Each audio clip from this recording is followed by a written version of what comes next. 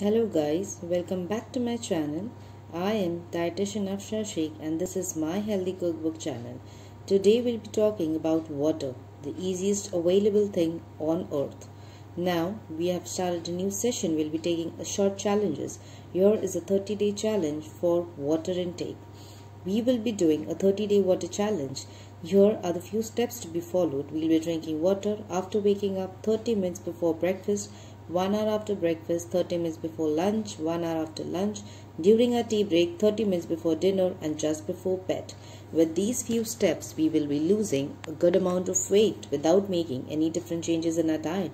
Just for some best results, you will be avoiding or restricting your tea, coffee, soda intake.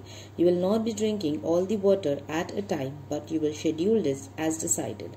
With this simple steps of water intake, we will be losing around 4.2 pounds in a span of 2 weeks, which is approximately equal to 2 kgs. So let's get started and tag me when we all are doing this channel. Stay sound, stay safe, stay blessed.